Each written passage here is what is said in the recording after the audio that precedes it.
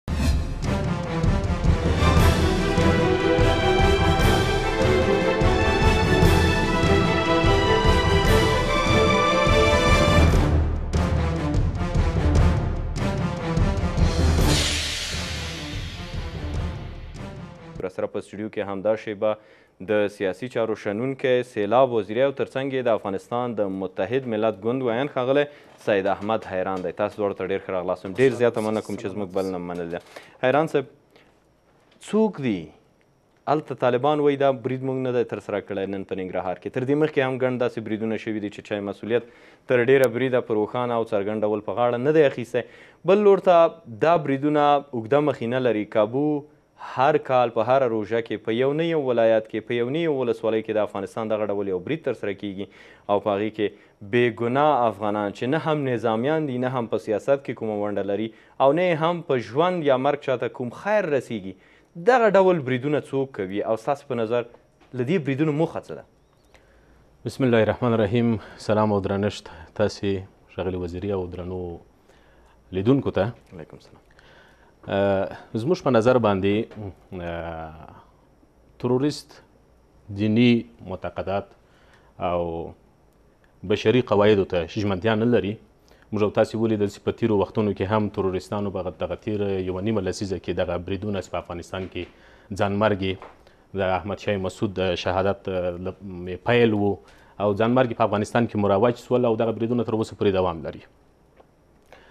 دلته زما په نظر باندې اصله مسله یو مهمه مسله دا ده چې دا یو فقهي مسله ده چې خبره د دار الحرب او دار الاسلام ده د اهل سنت او جماعت د علماو ترمنځ یو فقهي اختلاف دا ده چې امام ابو حنیفه وایي چې دارالحرب چې دا هغه عصمت د د د د انسان د د ژوند نسی کېدلی نو په دې خاطر باندې زه فکر کوم چې دغه بریدونه چې هر څوک کوي په افغانستان کې خو تر ډېره حده پورې موږ وینو چې طالبانو د دې بریدونو مسؤلیت په غاړه باندې اخلي یا القاعده دی او یا نورې تروریستي ډلې دي چې په افغانستان کې بریدونه کوي او په دې تېره یوه نیمه لسیزه کې بریدونه ترسره کړي دي عام مسلمانان افغانان یې وژلي دي خبره دا ده چې برید که هر څو کوي دا د تقبیح وړ ده، دا د غندنې وړ ده او په هیڅ صورت سره دغه بریدونه نه دیني اړخ لري او بنسټ لري او نه اسلامي اړخ او بنسټ لري، یعنې په یوه دین کې هم دې ته روایت موږ نسو ورکولای. دلته زموږ غوښتنه د افغانستان د دیني علماو او خصوصا د افغانستان د علماو د شورا څخه دغه ده چې تاسې په زرګونه کسان یاست په لکونه کسان یاست د علماو د شورا تر چتر لاندې او او د افغانستان د حج او قاف وزارت په تشکیل کې دوی معاشونه اخی او او دلته فقط قال الله او قال رسول وایي اړتیا دغه ته سته چې دغه د دارالحرب مسله چې اوس د افغانستان د دشمنانو خصوصا د تروریستي ډلو لخوا څخه پر افغانستان باندې دغه نوم شول سوی ده او په دغه نامه باندې دوی هم امام په مسجد کې په قتل رسي هم قرآن ته ور ورکوي هم مدرسې سوځوي هم دقیقا دا کومه ډله ده چې تاسو وایي چې دوی دا جواز هم ځان ته ورکوي هغه هم د اسلام په مقدساتو او د اسلام په رڼا کې چې په مسجد کې حتی تاسو برید وکړي موږ او تاسې په دغه تېره یوه نیمه لسیزه کې ولیدل چې دغه طالبان د دغو بریدونو مسوولیت په غاړه اخلي او د دوی دلیل دغه ده چې دا افغانستان اشغال ده، افغانستان دارالحرب ده، په دارالحرب کې د امام ابو حنیفه رحمت الله علیه د مذهب پر اساس باندې خو طالبانو زیاتره مواردو کې دغه ډول بریدونو کې لاس درلودل رد کړي لکه نن چې په ننګرهار کې و. خو که دا طالب نه وي دا به هغسې څوک وي چې طالبانو ته ورته تروریستي ډلې دي. تاسې وګورئ دلته که موږ وګورو د د د وهابیت په نامه باندې یو یو مذهب دلته فعلا په افغانستان کې ترویج په حال کې دا په دې کې په دې برخه کې عربستان سعودي چې له ایران سره هلته ژوري اختلافات مذهبي اختلافات لري په پاکستان کې مدرسو باندې پر مساجدو باندې هلته په میلیونونو ډالر باندې مصرف کوي دا هغه کسان دي چې هغه مذهب هم نه مني هغه وايي چې هر سړی د دې حق لري چې په خپله فقهي اجتهاد وکړي نو دغه کسان چې مذهب ته دوی ارزښت نه ورکوي او په مذهبي چارو باندې دوی متقد نه دي هغو ته دغه کسان دي چې د مسلمانانو وینه هم دوی ته مباح ښکارېږي او په دغه سیالاتو کې پر افغانستان کې او او په مسجدونو کې دوی بریدونه کوي زما بیا هم غوښتنه د افغانستان د علماو څخه دغه یعنی که هر څوک دي دا هغه کسان دي چې په لوی چوکاټ کې په اسلام کې داخل دي په اصل کې چې دا دلته جنګ نړیوال جنګ ده او استخباراتي جنګ ده د ګاونډیو هیوادونو د منطقوي هیوادونو ولې دغه جنګ د اسلام په نامه باندې دلته په افغانستان کې پر مخ بول کیږي موږ په دغه تیرو پنځلسو کلونو کې دا نه دي اورېدلي چې طالبان وایي چې اشرف غني په, په تقلب باندې راغلی ده یا موږ ته په حکومت کې ونډه راکړي یا په مخکینی ولسمشر حامد کرزی تقلب کړی او دلته راغلی ده د دوی ټول هغه اصل موضوع د دوی دا ده چې دوی وايي افغانستان اشغال شوی ده او په افغانستان کې د هر چا دلته هر څوک چې اوسېږي په دارالحرب کې ژوند کوي د دوی وینه موږ ته مباح ده او د دوی وژل موږ ته جواز لري بناً د دغه فتوا پر اساس باندې دوی په مساجدو کې هم انتحاري حملات ترسره کوي په په عامو ځایونو کې په مسجدونو کې په په شفاخانو کې په روغتونونو کې په ټولو ځایو کې دوی یا بم بمي انفجارات رامنځته کوي یا انتحاري عملات رامنځته کوي او او زه فکر کوم چې دوی چې هغه کومه نقطه لري هغه دغه نقطه ده چې دوی وایي افغانستان دارالحرب ده اوس دلته یعنی زموږ دیني علماو ته پکار ده جګړې یو اساسي ځای دی او دلته یوازې جنګ باید وشي د دوی د دوی هغه خبره او پریکړه دغه ده ولې دلته زموږ ژغ د افغانستان پر علماو باندې دغه ده تاسو په مسجد کې هم مسؤل نه یاست تاسو وجل کیږي دغه د نن د ننګرهار د روداد ولسوالۍ پیښه تاسو ولیدل چې امام په منبر کې په ماین باندې والوتی نو دغسې نور علماء هم وژل کېږي، علماوو ته دغه په کار ده چې دوی علماوو یوه اجماع جوړه کړي او دوی باید دغه مسله روښانه کړي چې ایا افغانستان دارالحرب ده او که نه ده، که دارالحرب نه ده دوی دې ولاړ شي فتوا دې ورکړي، دغه اوس زموږ سرتېري د یو ابهام په حالت کې قرار لري، دوی په دې باندې نه پوهېږي، زموږ یو چارواکی وايي چې طالبان ترورېستان دي، بل چارواکی وايي چې نه سیاسي مخالفین دي. دا د دارالحرب یادونه تاسې وکړه ایران صاحب که په دې لږ رڼا واچوئ، په اسلام کې دغه ډول یو نوم او دغه ډول یو فتوا یو نظریه څنګه ده او جواز لري که نه لري؟ ما مخکې وویل چې دا یو فقهي اختلاف ده د سني مذهب کې چې البته شیعه مذهب کې زه ډېر معلومات هم نه لرم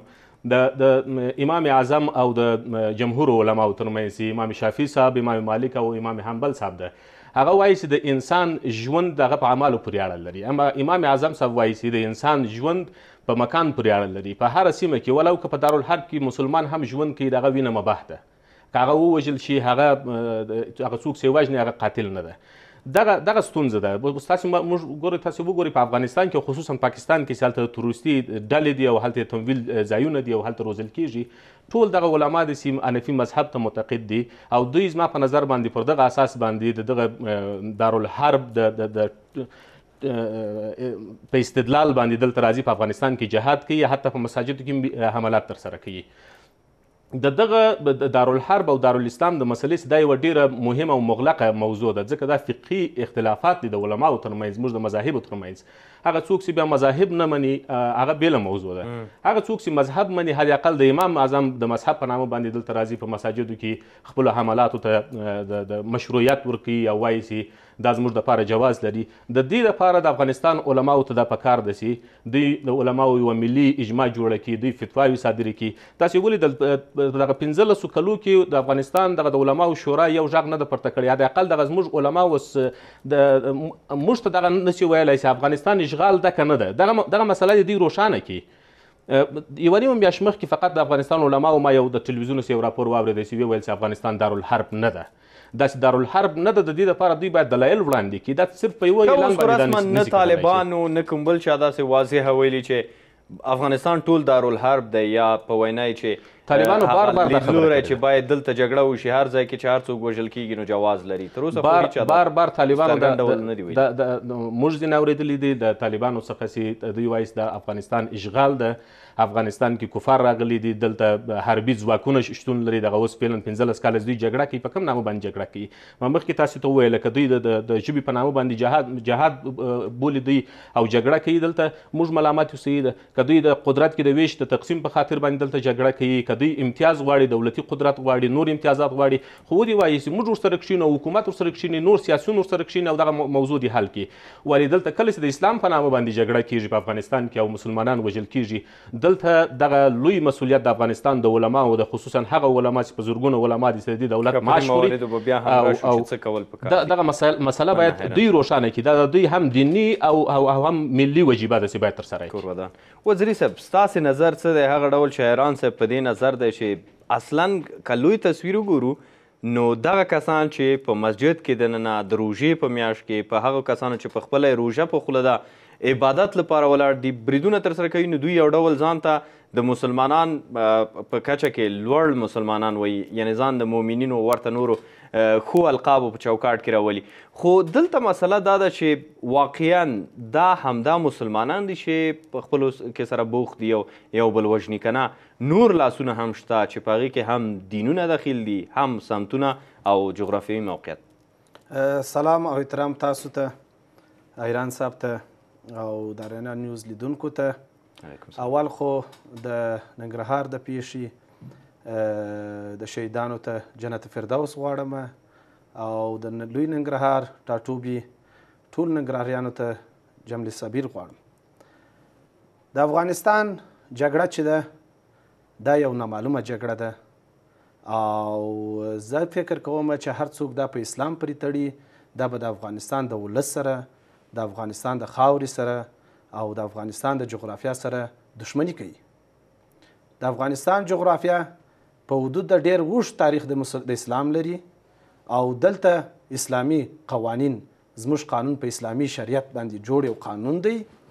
او په افغانستان کې ټول ولسونه تاسو دا اوس وځئ ټول مسجدونه د خلکو نه ډک دي یعنی اسلام خو په دې نه کېږي چې ته په زور باندې چې ته خپل یو شی ځان ته جوړ کړې او ته په ما تطبیقې اسلام دا مسلمانان و مسلمانان به یي او تر آخرته به دا مسلمانان دي دی جهاد یې وکړي دی خلکو ویې نه کوي دی خلکو مګر امتیازات چا واخیستل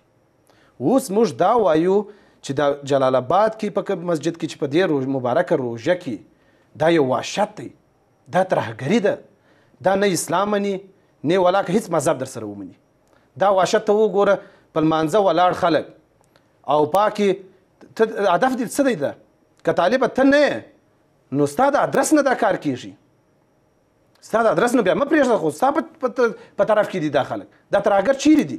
خو ستا سره په همسایګۍ کې دي نو لطفا دا وحشت پرېږدئ دا دهشت پرېږدئ دا ولس دا اووه دېرش اته دېرش کاله په دې په دې جنګو کې تباه شو برباد شو تاسو ولې دا مجرتونه زموږ تاسې ځوانان تعلیم یافته تعلیم یافته ځوانان چې زموږ تاسې د ملک سرمایه وه په ترکیې په دریابو کې مایانو ونه خوړله غرق نه شول فامیلونه یې سرګردانه بچیان یې ورک خوندې مندې بې عزته شولې په دې اروپا کې دا اوس بې عزته دي ته افغان غیرت او ننګ دې چیرې دی ته وګوره د طالب په نامه جګړه د پلانکی په نامه جګړه بل جګړه دا ټول هغه مسایل دي چې د نړیوال مسایل دي نړیوال تروریزم افغانستان ته راغلی دی او زموږ تاسې ورونه ګمراه کړي دي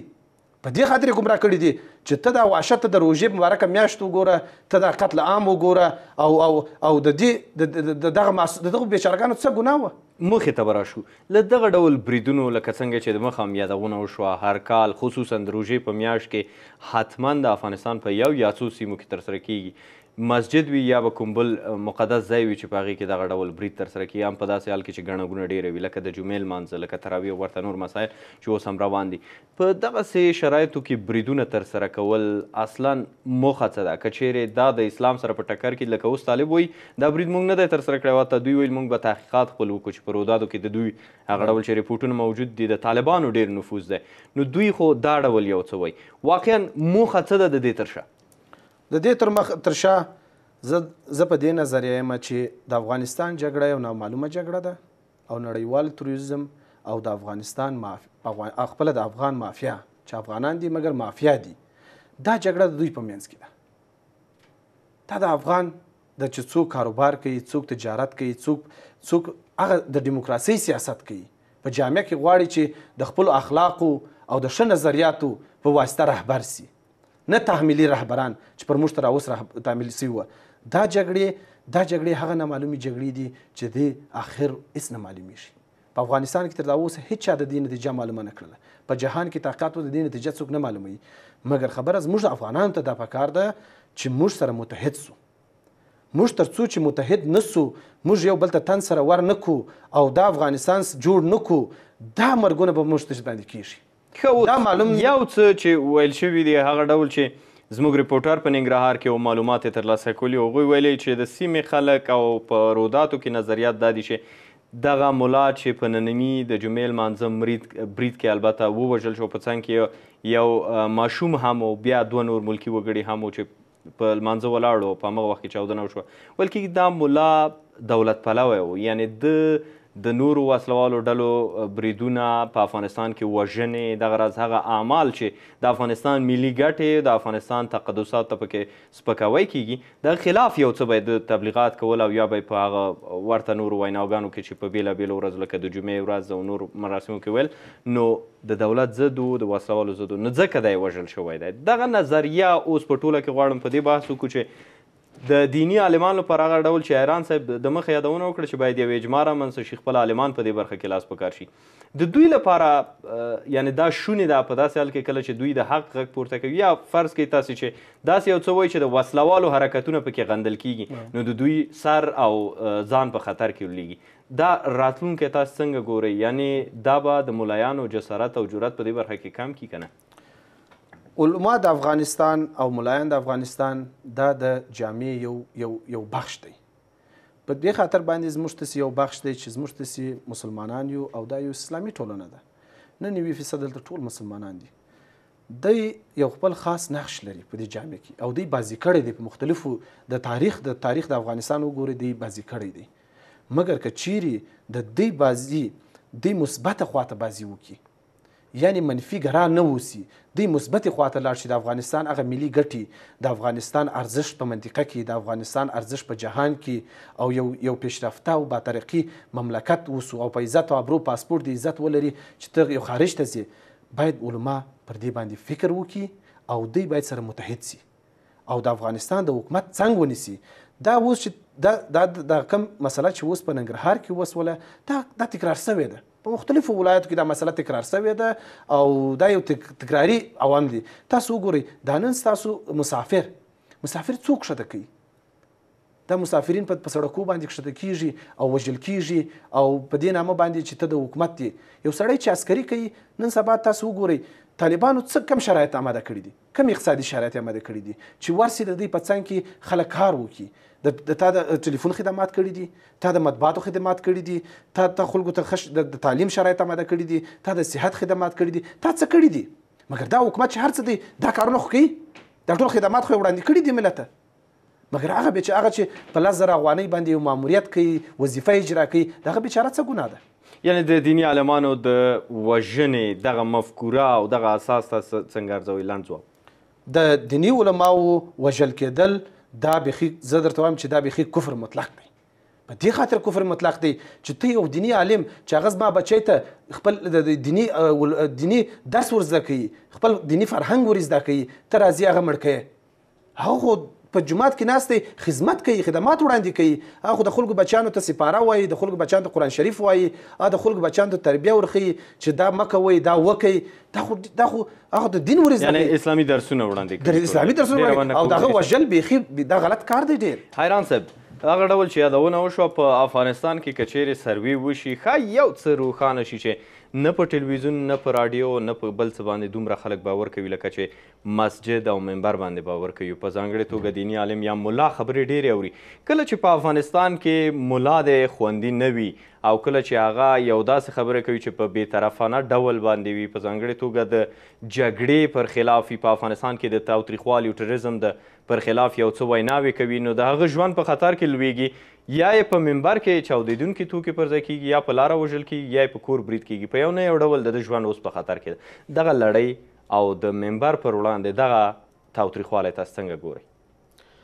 ملا صاحب که غواړي چې هم خپل ژوند خوندي وساتي او هم د نور افغانانو ژوند خوندي وساتي نو دوی ته په کار ده چې دغه اسلامي رساله څه دی په غاړه اخیستې ده او خپل ځان وارث د پیغمبر علیه السلام بولي په کار دوی ته دغه ده چې دوی را ولاړ سي هره جګړه چې د اسلام په نامه باندې دلته استخباراتي او نړیوالې جګړې کیږي او په دغه پنځلسو کالو کې دغه جګړه دوام لري زه وایم که له دې خوا موږ وژل کیږو هم مو علما وژني که له هغې خوا وژل کیږو هم مو علما وژني ځکه د دې دواړو خواوو کې علما مسولیت لري دغه جنګ چې روان ده د دین په نامه د مذهب په نامه باندې جنګ روان ده وطن مخالفین اشغال بولي او دلته خپلو حملاتو ته دوی اسلامي صبغه ورکوي او او دوی وایي چې دلته چې څوک اوسېږي حتی د علماو په شمول باندې وایي دغه علما چې دي هم په دارالحرب کې ژوند کوي او د دوی مرګ هم روا ده زما ږغ پر علماو يعني باندې دغه ده ایډیالوژي او مفکوره دا ده چې یا به وسله اخلي جګړه به کوي د ټولو پر وړاندې یا به وژل کېږي واضح خبره ده زه وایم هغه هغه عالم چې د حکومت څخه له یو طرف څخه معاش هم اخی د حج اوقاف د وزارت په تشکیل کې حد اقل دغه جرأت خو وکړو د اسلام په خاطر د خدای په خاطر باندې او د خپل ژوند په خاطر باندې کته دغه څه چوپ خپل پاتې سي چې زه غږ نسم کولای په ټلویزیون کې یعنی کوم بحث اوس په دې راټول کو چې څه باید وشي په مقابل کې تاسو یادونه وکړه چې د دینی عالمانو یو اجماع باید جوړ شي په نورو هیوادونو کې ډیر به لرې نه ځو یوازې خپل ګاونډیان که وګورو او هغوی د اسلام په نامه باندې ځان ډیر لوړ امبوري کله کله خو پرې تور لګیږي چې ځانونه د اسلام ټیکداران بولي ایران او پاکستان هلته په ایران کې هم د ملایانو ډیر حاکمیت شته د دوی خبرې بالاخره نهایی بڼه خپلوي په پاکستان کې هم ورته حالت ده حتی ویل کیږي د ایس آی پریکړه اول ملایان کوي چې باید څه وشي اوس په دغه یو وضعیت کې یو څوک خوشته چې نهایی پریکړه کوي له دیني اړخه په افغانستان کې دغه ډول ادرس تر اوسه ولې نشته ولې داسې یو څوک شته نه چې وروستۍ پریکړه وکړي لکه تاسو چې ویل دارالحرب دی که نه دی دلته د افغانستان د خلکو پر وړاندې جګړه څه ډول یو جګړه ده بالاخره په کوم ټغر سره راټول شو او له دیني لحاظه په کوم مسیر ولاړ شو دغه ډول یو څه ولې نشته او د رامنځته کېدو لپاره څه پکار دي اوس به په دې بحث وکړو ما مخکې وویل چې د د دغه ډول پریکړو لپاره د افغانستان علماو ته پکار دغه ده چې دوی اجماع جوړه کړي وګورئ دلته دلته دوه موضوعات دي موږ په اصل کې که وګورو د دې جنګ حقیقي بڼه دا ده چې دلته جنګ د امریکې او د پاکستان جنګ ده او د سولې او د جنګ کلي د پاکستان او امریکې په لاس کې ده په کار خو دغه تیرو یولسو کلونو دولسو کلونو کې او دغه اوسني د ملي وحدت حکومت ته دا اوس یوه قوي ډیپلوماسي ولري چې هغه جنګ سي استخباراتي او منطقوي او د قدرت پر سر باندې جګړه ده دوی د قوي دیپلوماسي پر اساس باندې امریکې ته هم قناعت ورکړي، پاکستان ته هم ورکړي، ایران ته هم ورکړي چې ستاسې ګټې دلته خوندي دي او موږ هم خپلو ګټو ته پرېږدئ. ښه، حیران صاحب وخت بیخي کم پاتې، که چېرې یوه دقیقه کې لنډ ځواب راکړئ، نیم ځواب تاسو ورکړی چې اجماع باید رامنځته شي، هدف دا ده چې په افغانستان کې یو یوازینی واحد اسلامي لیدلوری باید رامنځته شي، هغه د فتواو مرکز وي، هغه داسې یو څه وي چې د افغانستان ګټې هم پکې خوندي وي، اسلام هم پکې خوندي وي او بالاخره تر ټولو مهمه دا چې ملکي وګړو ژوند او مال او سر پکې خوندي وي. ما وویل چې د افغانستان جګړه چې ده استخباراتي او نړیواله جګړه ده، یا افغانستان حکومت باید قوي دیپلوماسي ولري، نړیوالو ته او ګاونډیو ته باید قناعت ورکړي، چې تاسې په افغانستان کې خپل خپلې ګټې د جنګ له لارې مه لټوئ او یا هم دغه جنګ د استخباراتي او نړیوال جنګ چې د دین په نامه باندې پر افغانانو باندې تپل کېږي په وړاندې باید زموږ افغاني علما هغه افغانان چې د هغه علما چې دلته په افغانستان کې ژوند کوي دا باید سره منسجم سي دا باید سره راټول سي هغه فتوا چې طالبان او د دوی یا تروریستان یا نورې ډلې حقاني ډلې دي هغه ورکوي دلته زموږ وینه دوی مباح ګڼي د دوی په وړاندې باندې باید فتوا ورکړي سره راټول شي دا په پنځلسو کلو کې چې یو ځل اعلان وکړي په دې باندې نه کېږي هر راورځ باید په دې مسایلو باندې بحث وشي. یو واحد مرکز چې هغه وکولی شي د اسلام استازیتوب وکړي فتواوې صادرې کړي او په پایله کې داسې یو څه وشي چې په افغانستان کې د تاوتریخوالي ټغر بیخي رالنډ وي. علماو دپاره د افغانستان د حکومت د قانون مطابق باید دی د افغانستان د حکومت سره په څنګ ودرېږي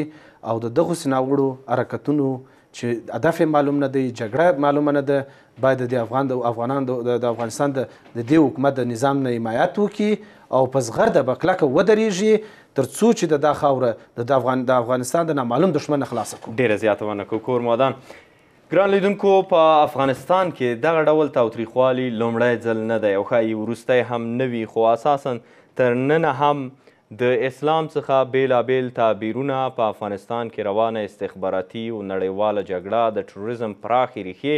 او دننه د حاکمیت کمزوري هغه عوامل بلل کیږي چې د جګړې د تشدید پر وړاندې د کمښت په برخه کې البته موثر نه تمامېږي. په عین حال کې دا چې څه ډول یې مخه نیول کېدای شي، وروستی لیدلوری دا ده چې یوه ملي اجماع په کار ده چې په هغې کې د اسلام وروستی دریځ روښانه وي. افغانستان وکولای شي د یوه اسلامي هېواد په توګه د یو واحد نظر پر بنسټ باندې د اسلام او نورو تقدساتو په پام کې نیولو سره اعمال وکړي. تر بیا مو په پاک الله سپارم خوشاله وخت.